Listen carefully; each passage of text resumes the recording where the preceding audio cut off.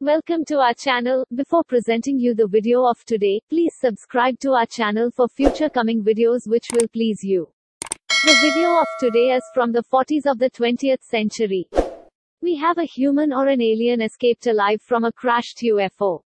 He is walking for a while, then flying with a phenomenal speed, using secret technology. Until this day, this technology didn't appear in the human's daily use. Let's watch this video, then we will analyze it.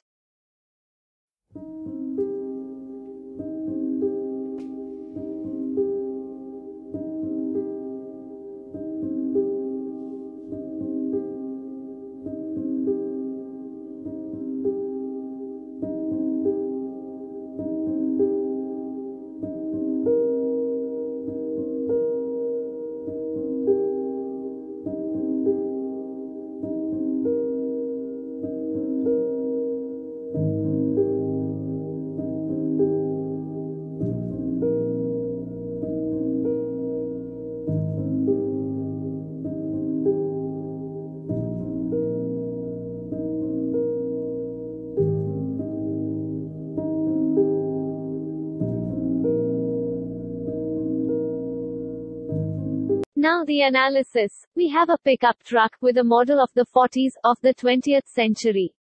In the United States, a house located between two riverways. In the middle of this river, there's a crashed flying saucer on fire. The color of this UFO is approximately the same like the river soil. The half of this flying saucer is in the surface. The other part, submerged by the river water. The cockpit or the windows are clear.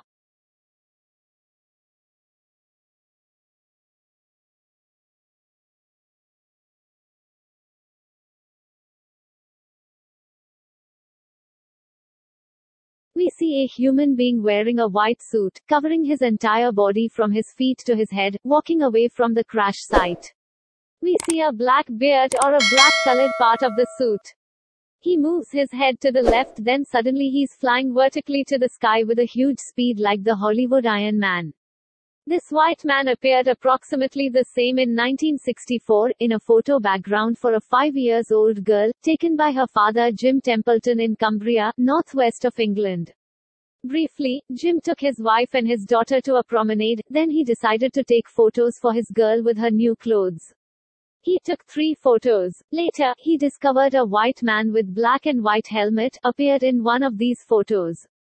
This photo was known as the Solway astronaut or Solway spaceman. Does this mysterious white man is the same of the crashed UFO after more than 20 years, or simply he was someone else? Another several questions emerges here. This white man is a human or an alien? This flying saucer is on fire, that's mean it uses the fuel as a source of energy to fly.